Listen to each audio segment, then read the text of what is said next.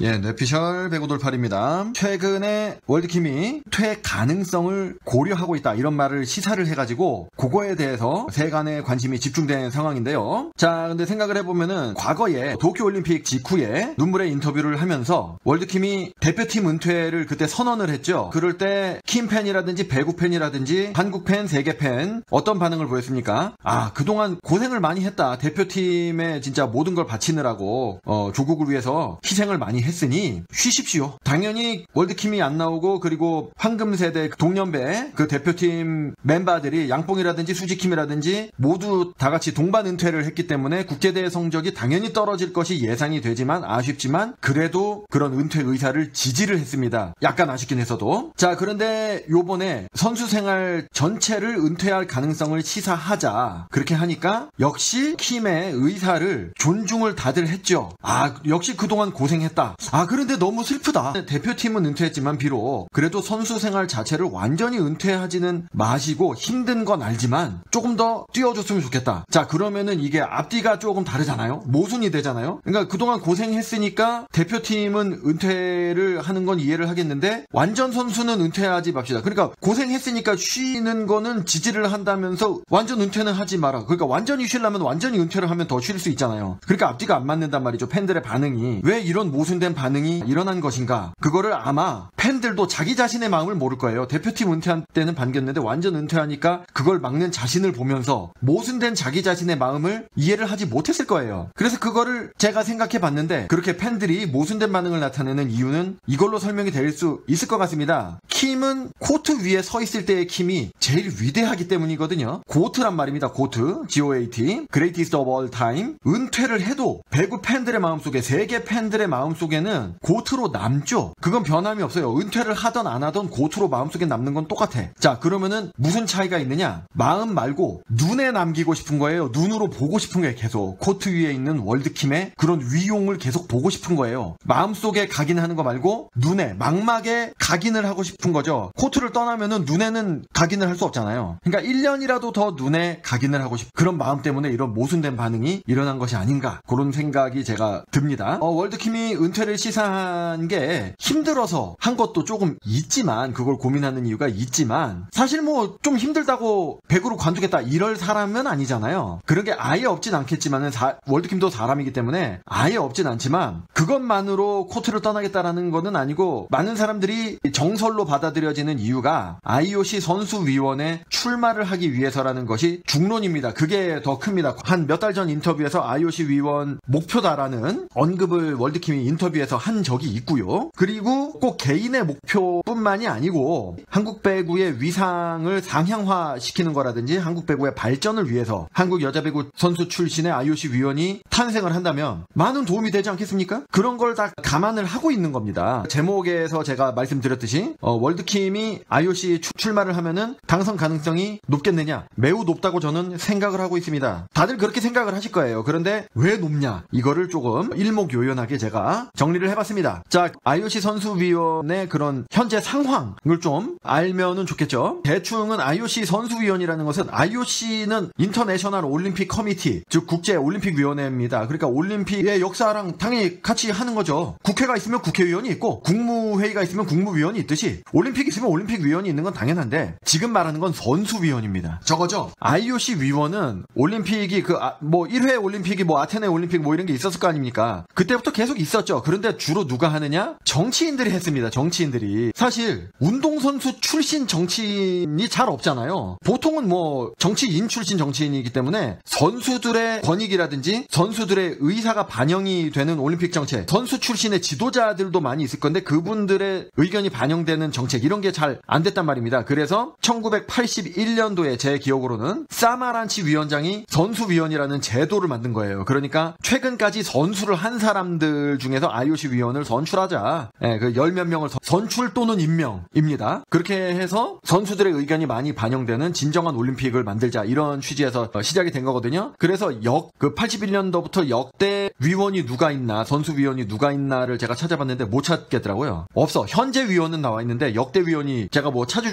줄 몰라서 못 찾은 것도 있는데 그래서 그 만능이라고 일컬어지는 챗 GPT 선생한테 물어봤어요. 그러니까 몇 명 나오더라고요. 이 사람들을 검색해봤는데 구랍니다. 이 사람들은 챗 GPT가 가르쳐 준 사람들은 선수위원이 한 명도 없었어요. 운동화 파는 사람도 있고 뭐 이상한 사람들이 나오더라고. 그리고 그 올림픽 출전한 선수 출신은 맞는데 그 81년도 이전 선수위원 제도가 없을 때 이전의 선수도 나오고 막 이러더라고요. 그래서 찾는 데는 좀 역대 위원은 어, 실패를 했습니다. 현재 위원은 뒤에 가서 제가 말씀을 드릴 거고. 그런데 한국 역대 위원은 이제 기사를 통해서 어, 쉽게 알 수가 있었습니다. 지금 보시는 것 중에서 밑에 문대성 유승민 위원이 선수위원이고요. 나머지는 그냥 위원입니다. 정치인 출신이 많죠. 예, 경호실장도 있었고 총리 눈에 띄는 사람은 이건희 회장, 이기붕 부통령도 예, 기붕이 형. 저는 이제 이기붕 부통령을 무풍지대 그 드라마에서 뭐 어쨌거나 무풍지대에서 좀 봤다. 그건데 자 그래서 이 중에서 초대 선수위원이 태권도 선수 출신이었던 문대성 위원이었고 그 뒤에 유승민 위원이 자 유승민 위원에 대해서 그럼 좀 설, 어, 살펴보면은 경기대 출신이고요. 탁구 선수죠. 그래서 현재 탁구협회 회장 을 또 하고 있고 IOC 선수위원이 먼저 된 다음에 나중에 탁구협회 회장이 된 거죠. 어, 그리고 경기대 출신이니까 경기대 또 최대 교수를 하고 있고 석좌 교수입니다. 그러니까 주임 교수죠. 여러 가지 하고 있고 특이한 게 서울대 농대 대학원 교수예요. 이, 이거랑 탁구랑 무슨 상관이 있지? 좀 농사에 좀 노하우가 있으신가? 이건 잘 모르겠어요. 이거는. 그래서 유승민 위원이 선거 당시에 출마 당시의 상황을 보면요. 자, 2014년에 은퇴를 했습니다. 은퇴를 하고 국가대표팀 코치를 했는데 2016년도에 IOC 선수위원 선거가 있었어요. 출마를 합니다. 일단 한국 대표로 출마를 해야 됩니다. 그러면은 한국 대표에 선출이 돼야 되죠. 그러니까 여기도 대표팀이 있는 거예요. 출마를 하신 분이 장미란 누님하고 진종호 의원, 유승민 이렇게 세 명이 출마를 합니다. 그런데 그때 당시 국민들 생각은 장미란 진종호가 훨씬 더 업적이 화려하고 국제대회 우승도 엄청나게 많이 하고 보시다시피 유승민 의원은 올림픽 금메달을 하나밖에 못하고 하나도 대단하지만 장미란 진종호가 좀 많이 땄기 때문에 좀 상대적으로 밀리죠. 그리고 주니어 때 세 번 우승한 거 말고 국제대회 우승한 게 두 번 있는데 두 번 다 굉장했죠. 아시안 게임 우승하고 올림픽 우승이니까. 그래도 진종호랑 장미란에게는 밀린다. 그리고 인지도 면에서도 국내에서 밀리는 상황이었어요. 그래서 안 되지 않겠느냐라고 생각했는데 한국 대표에 선출이 됐습니다. 제가 빨간 줄이 쳐놨죠. 영어 시험에서 시험을 보나 봐요. 두드러지는 성과. 아니 아무리 국제적인 그런 간부가 되는 거긴 하지만 영어 시험보다 사실 선수로서의 업적이 더 중요한 게 아닌가라고 생각하실 수가 있습니다. 중요하죠. 그런데 보십시오. 요 밑에 보면은 이분이 2016년도에 출마했기 때문에 표를 누가 하느냐면은요. 2016년 올림픽에 참가하는 선수들의 수천 명의 선수가 참가를 하잖아요. 올림픽에. 그 선수들이 투표를 하는 거예요. 그걸로 최종적으로 결정이 되는 거예요. 그러니까 국내 인지도는 특별히 상관이 없어요. 물론 국내 인지도가 높으면 세계 인지도도 높을 가능성이 높지만 장미란 진종호 그때 당시 후보가 우리나라에서는 엄청난 인지도가 있죠. 그런데 세계적으로 봤을 때 많이 알려져 있지는 않다는 겁니다. 그 종목에서는 인지도가 있겠죠. 사격이랑 역도에서는 인지도가 있겠지만 사격 역도에서만 투표하는 게 아니잖아요. 모든 종목 선수가 투표를 한다는 겁니다. 사실 장미란이 출마하건 진종호가 출마하건 유승민이 출마를 하건 간에 큰 차이가 없다는 거예요. 우리나라 올림픽 대표팀 선수단들이 있을 거 아니에요. 쫙 몇백 명 있을 거 아니에요. 그 사람들은 이 세 명 중에 누가 출마해도 한국 대표를 뽑을 거 아닙니까? 한국 후보를 뽑을 거기 때문에 우리나라 인지도가 높건 낮건 상관이 없어요. 어차피 후보가 한 명인데. 그러니까 차이가 없다면 외국 선수들에게 우리나라 후보의 당선을 부탁하고자 하는 선거 유세라든지 선거 운동을 하려면은 영어를 잘해야 된다는 겁니다. 자, 여기서 밑에 유승민 후보의 선거 전략이 있었죠. 선거 운동 규정이 매우 까다롭기 때문에 발품을 팔아서 예, 선수촌을 가는 거예요. 리오데자네이루 내에서 계속 인사를 하는 거예요. 15시간 동안 발품을 팔아서 컨디션을 체크해 가면서 인사를 했다는 거 아닙니까? 인사를 하고 컨디션은 어떠냐. 이렇게 선수들에게 신경을 쓰는 이런 모습. 이렇게 하니까 선수들이 감동을 받아서 표를 준 거란 말이죠. 전 세계 선수들이. 근데 이거를 통역을 다니면 데리고 다니면서 하기에는 한계가 있습니다. 그러니까 영어를 직접 할 줄 알고 선수들과 의사소통이 되면은 직접적인 감동을 줄 수가 있다는 것이죠. 이렇게 해가지고 당선이 됐다. 그래서 요때 또 나온 말이 유승민 위원이 당선이 돼가지고 연느님, 자 김연아에게 IOC 위원 도전에 제동이 걸렸다라는 내용입니다. 한 나라에 한 명이거든요. 근데 IOC 선수위원이 임기가 8년이에요. 그래서 2024년에 끝납니다. 내년에 끝나. 그러면은 그 8년 동안은 김연아가 출마를 못하는 겁니다. 출마를 못할 뿐만 아니라 그리고 IOC의 선수위원의 후보 자격이 딱 하나가 있습니다. 선출하는 해의 올림픽 또는 직전 올림픽 출전 선수로 제안을 하고 있습니다. 연느님이 은퇴를 했잖아요. 은퇴를 했기 때문에 이제는 직전 올림픽 뭐 이런 데를 안 나가기 때문에 더 이상은 출마할 수가 없습니다. 그러니까 끝나 선수위원은 평생 동안 못 하는 거예요. 자 근데 밑에 있죠. 선수위원만 못 하는 거고 선수위원이 아닌 다른 위원들이 많잖아요. 그냥 IOC 개인이나 뭐 이런 자격으로는 될 수가 있기 때문에 IOC 위원 자체를 못 하는 건 아닙니다. 선수위원을 못 하는 거예요. 근데 그러다 보니까 이게 운동선수가 받는 상 중에 제일 소중한 상이 뭡니까? 신인상이잖아요. 왜냐면 신인상은 데뷔한 첫 해에만 받을 수 있으니까 지나면 못 받아. 그러니까 선수위원도 지나면은 못 받기 때문에 굉장히 명예로운 겁니다. 이게 그냥 일반 위원보다도 선수위원이 굉장히 소중하다. 뭐 그런 면은 있습니다. 자 그래서 유승민 위원이 그 선출되고 그걸로서 그 영광으로 끝내는 게 아니라 좀 일을 열심히 하고 잘했나 봐요. 그래서 탁구 부흥에도 이번 올림픽 때도 탁구 성적이 메달까진 못하지만 제법 좋았지 않습니까? 그런 것도 있고 탁구의 대중화 어, 부흥을 위해서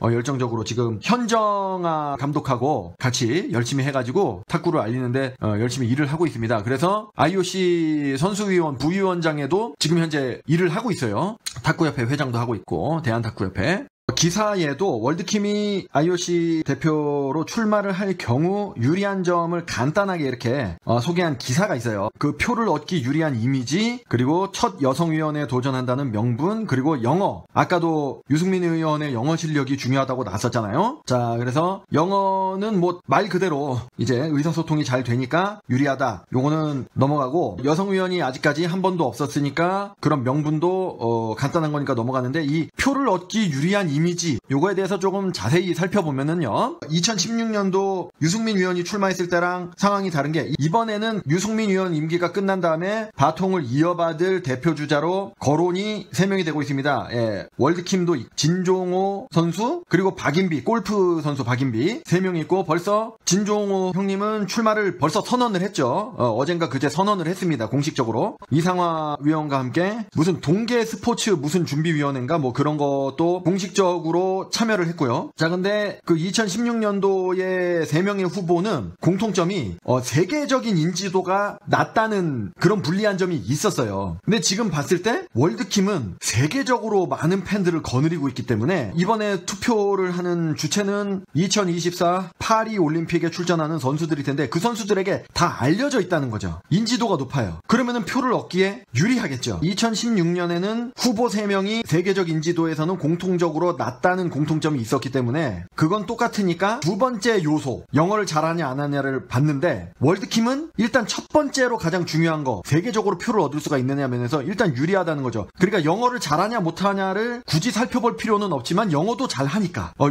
굉장히 당선될 가능성이 높다는 거죠. 그리고 Dr. Quacks in the Volleyball Magazine. 월드킴이 한국 배구계의 지지 또는 한국 배구 선수들 또는 올림픽에 출전한 타 종목 한국 선수들의 지지뿐만 인기뿐만 아니라 이제 협회에서도 코보라든지 또는 대한배구협회에서 당연히 전폭적으로 지지를 해줄 거 아닙니까? 그리고 국민들도 지지를 많이 해줄 거고요. 근데 우리나라 쪽에서뿐만이 아니고 해외에서도 지지할 거란 전망이 나온 겁니다. 그래가지고 요거는 작년도 기사인데 터키 배구협회에서도 지원을 하고 지지를 받을 수 있다는 전망이 나온 거죠. 아, 이게 단순히 거기서 뛰었기 때문에 지지한다? 그거는 좀 말이 안 되죠. 그러면은 그 종목별로 자기 나라에서 어, 축구도 있고 농구도 있고 이런 게 있는데 그 나라에서 뛴 외국인 선수 가 출마하면 다 지지하냐? 그렇진 않잖아요. 특별히 월드킴을 터키 배구협회에서 지지를 할 거라는 전망이 나왔냐 하면은 월드킴이 터키에서 선수 생활을 할 때 매우 강력한 실적을 나타냈다. 우승도 많이 하고 MVP도 많이 차지하고 그랬지 않습니까? 근데 단순히 그건 아니에요. 왜냐면 터키에서 뛰면서 우승하고 MVP 차지했던 외국 선수는 많거든요. 자, 근데 월드킴이 특별한 의미를 가지는 이유는 뭐냐면은 터키 배구 리그는 여자 배구 리, 리그에 있어서는 최고를 다투는 리그 죠. 위상이 굉장히 높았습니다. 높았지만 그거는 서구권에서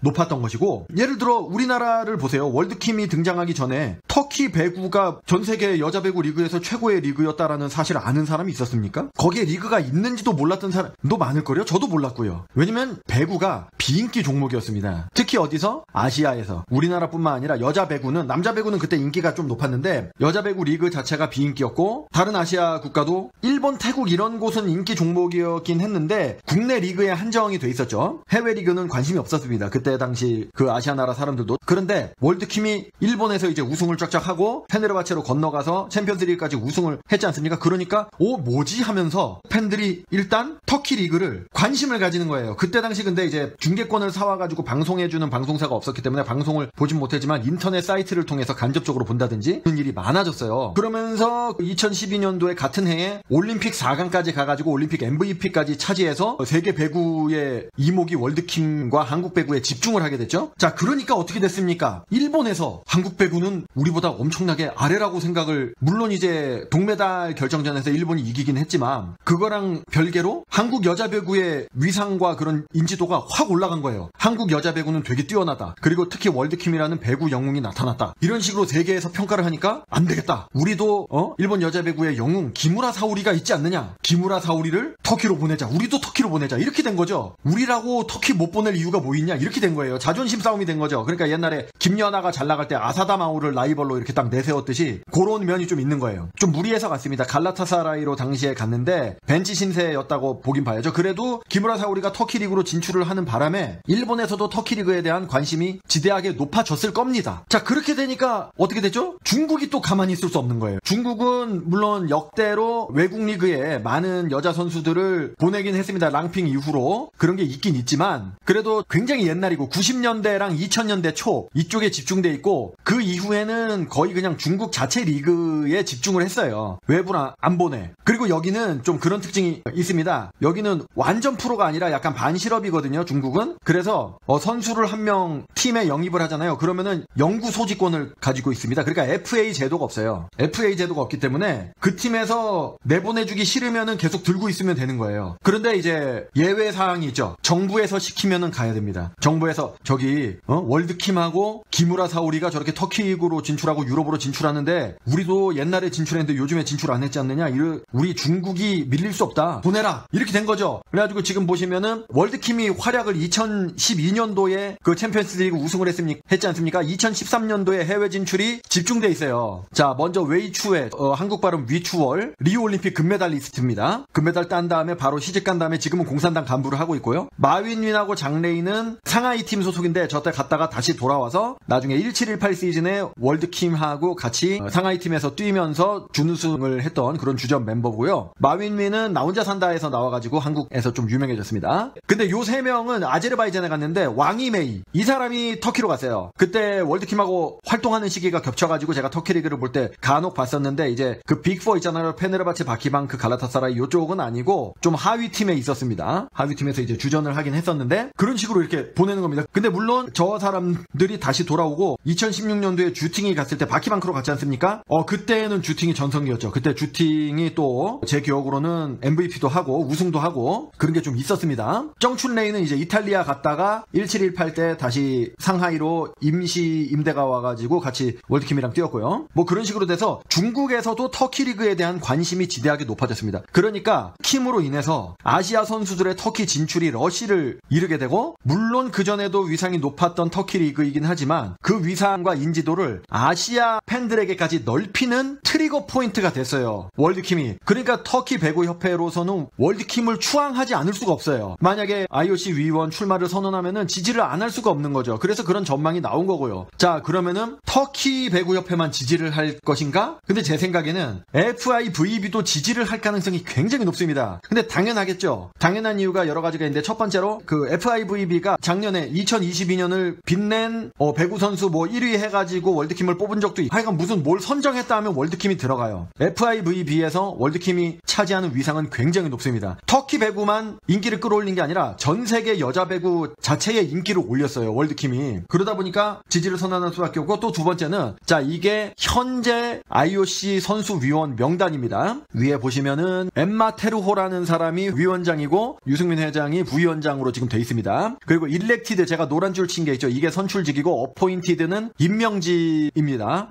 IOC 위원장이 임명하나? 뭐 그건 잘 모르겠어요. 어쨌거나 여기 선출직을 노리고 출마를 하는 거겠죠. 보면은 파우 가솔, 자 NBA 출신의 이제 농구 선수고 굉장히 유명한 선수죠. 그리고 이신바에바도 있습니다. 그러니까 어, 인지도가 높으면은 선출될 가능성이 좀 높은 거예요. 나머지 멤버들도 인지도가 높겠지만은 제가 조금 잘 모르는 거겠죠. 그리고 종목은 원칙은 당연히 올림픽에 참가한 선수들이 뽑기 때문에 보통은 그 종목 선수를 뽑을 가능성이 높, 잖아요 같은 종목. 그러니까 육상이 유리합니다. 육상이 참가자 수가 제일 높잖 많잖아요. 그래가지고 좀 이신바예바도 좀 뽑힌 것 같고요. 근데 지금 자세히 보시면은 많잖아요. 아이스하키, 탁구, 뭐 레이싱, 사격, 태권도 뭐 이런 식으로 많습니다. 럭비도 있고 펜싱도 있고. 근데 보면 배구가 없죠. 자, 배구 선수 출신 IOC 선수위원이 현재로선 없습니다. 그동안 81년부터 지금까지로 따지면은 그래도 몇 명 있지 않을까 예상은 됐는데 찾아보진 못했습니다. 검색을 어떻게 하는지 몰라가지고 찾아보지 못했는데 확실한 거는 현재는 없다는 거예요. 그러니까 배구라는 종목 자체의 위상을 높이기 위해서라도 그리고 올림픽에서 조금 더 선수들의 권익 보호라든지 이런 걸 신경 쓰려면 배구 선수 출신이 한 명쯤은 들어가줘야 된다는 거죠. 그거를 FIVB도 바라고 있을 겁니다. 그러니까 월드킴이 출마하면 전폭적으로 지지와 지원을 아끼지 않을 가능성이 굉장히 높아요. 그래서 이러이러한 이유로 선수단 투표에도 월드킴이 굉장히 유리하다라는 제 생각이고요. 그래서 유리한 점을 한번 살펴봤고 마지막으로 살펴볼 것이 뭐냐면은 지금 진종오 선수가 지금 출마를 선언했지 않습니까? 근데 자 보십시오. 월드킴은 IOC에 출마하기 위해서 은퇴를 고려하고 있는데 그리고 유승민 위원도 그때 당시 은퇴를 한 다음에 출마를 했습니다. 자 근데 우리 진종오 형님은 독특합니다. 아직 은퇴를 선언하지 않았어. 은퇴를 안 하고 IOC 위원 출마를 선언한 거란 말이죠. 그리고 그때도 예 리우데자네이루 올림픽 때도 은퇴 안 했잖아요. 은퇴 안 하고 출마를 선언한 거거든요. 그때도. 그러니까 이게 선수 위원 출마할 때 은퇴 를 해야만 한다라는 규정은 없거든요. 현재 선수여도 됩니다. 지금 현재 진종호 형님은 여러 가지 행정적인 일을 병행하고 있어요. 지금 선수 생활하고. 그러니까 월드킴도 은퇴를 안 하고 출마를 하면 어떨까 하는 생각이 좀 있는데 물론 입장이 다릅니다. 이게 사격은 아주 개인 스포츠입니다. 혼자 훈련하면 돼요. 누구랑 합을 맞춰보고 이럴 필요가 없어. 팀 스포츠가 아니에요. 물론 단체전은 팀전이긴 하지만은 따로따로 훈련하고 팀으로 만나도 되거든요. 그리고 파워와 스피드와 체력 이게 소요가 되는 게 아니잖아요. 몸이 안 피곤하다고요. 그러니까 충분히 병행을 할 수가 있습니다. 근데 벼, 배구는 굉장히 팀 스포츠잖아요. 그러니까 팀이 맞춰서 스케줄도 맞춰가지고 때로는 합숙도 하고 월드킴은 합숙까지는 안 하지만 그래도 훈련 시간에 나가가지고 같이 비시즌에도 훈련을 해야 되고 시즌에도 훈련을 해야 되고 그리고 시즌이 길잖아요. 특히 한국 배구는 게다가 코보컵도 있죠. 코보컵 때 스타팅으로 출발은 안 하고 후배 선수들이 주로 나가겠지만 그래도 그 엔트리에는 들어갈 거란 말입니다. 정규 시즌은 되게 길고 막 10월 말부터 4월까지 하니까 거의 막 반년 동안 한단 말입니다. 그러면서 체력 소모도 극심하고 시간 내기가 어렵다. IOC 위원 출마를 하면서 선수 일을 동시에 병행하기는 매우 어렵습니다. 그런데 그 선거를 언제 하냐면 2024년 7월 26일부터 8월 11일 사이에 할 거 아닙니까? 왜냐면 올림픽 선수들이 투표를 하니까. 그러니까 시간이 많이 남았거든요. 물론 저때 출마를 하기 위해서 우리나라 대표 후보는 그 먼저 선출을 하겠죠. 몇 개월 한 2, 3개월 먼저 선출을 할 거예요. 그죠? 근데 그렇다 하더라도 한 3, 4월 에 할 겁니다. 2024년 시즌까지는 일단은 뛸 수가 있어요. 월드킴이. 그래서 그때 시즌이 끝나고 나서 준비를 해도 뭐 늦지는 않을 것 같거든요. 그래서 그때 은퇴를 하고 출마하는 방법이 있고 아니면은 그때가 비시즌이지 않습니까? 예. 일단 그 해에 코보컵만 출전을 하지 않고 은퇴를 하지 않은 상태에서 출마를 해서 떨어지면은 선수로 다시 하는 거고 어, 붙으면은 그때 은퇴를 이렇게 딱 공식적으로 하면 어떨까 하는 저의 개인적인 좀 바람이 있습니다. 물론 이번 시즌 끝나고 은퇴 를 월드킴이 한다고 하면은 저는 존중합니다. 예, 그냥 개인적인 바람일 뿐이고 그렇게 해야 된다 이렇게 제가 주장을 하는 건 아니에요. 바람일 뿐이죠. 그래서 참 그 뭐 여담입니다만은 만약에 은, 어, 내년 시즌까지 1년 더 선수를 연장한다면 과연 어떤 팀으로 갈 것인가 많은 사람들이 어, 추측을 내 보내잖아요. 분명히 핑크 스파이더스에는 안 남고 다른 팀으로 갈 것이다라는 게 중론이었는데 아본단자 형님, 자 제가 저번 영상에서 빡본단자라고 조금 헤어스타일 가지고 약간 좀 애정어린 농담을 했는데 그게 너무 어감이 세가지고 혹시나 우리 탈모인 형님들이 어, 마음이 상하실 수 있으니까 그렇게 하지 말자는 좀 좋은 의견을 주신 분들이 있거든요. 그래서 좀 어감을 조금 순하게 박본단자라고 하면 어떨까 하는 좀 생각이 있어서 박본단자라고 조금 말씀을 좀 드려보겠습니다. 예, 그것도 조금 그렇다 하시면은 의견을 좀 주시면은 이제 아봉, 아봉 형님 뭐 이런 식으로 해도 될 것 같고요. 허- 어쨌거나 박본단자 형님이 핑크 팀으로 취임을 하는 바람에 변수가 엄청 생 겼어요. 다른 팀으로 월드킴이 이적을 한다 해도 어, 어차피 한국인 감독님들이고 대부분 그러면은 핑크만큼은 아니지만 프론트에 FA의 영향을 약간은 받을 수밖에 없거든요. 근데 박, 박본단자 형님은 그런 거에 영향을 안 받을 게 자명하잖아요. 외국인이니까. 그러니까 남- 연장을 한다면 FA 때 핑크에 남을 가능성이 굉장히 높아졌습니다. 그러면은 월드킴이 핑크에 남으면은 그 후폭풍이 뭐가 있느냐? 내년에 FA로 풀리는 사람들이 꽤 있잖아요. 그 중에 수지킴이 있습니다. 수지킴이 월드킴이 있는 대로 온다는 거죠. 그럴 가능성이 굉장히 높고 그리고 지금 핑크팀에 부족한 게 지금 복덩 이원정 선생 그 선생이 오셔가지고 지금 질풍 가도를 달리고 있긴 합니다만은 그래도 더 명세타들이 많잖아요. 그 FA로 어떤 세타들이 풀릴지 모르겠는데 월드킴과 한 팀이 될- 돼서 뛰고 싶은 열망이 있는 세타들이 많을 거란 말입니다. 예, 영광이잖아요. 연봉이 좀 적더라도 월드킴이 있는 팀으로 오고자 하는 FA 세타가 한두 명은 있을 거거든요. 좀 베테랑 세타가.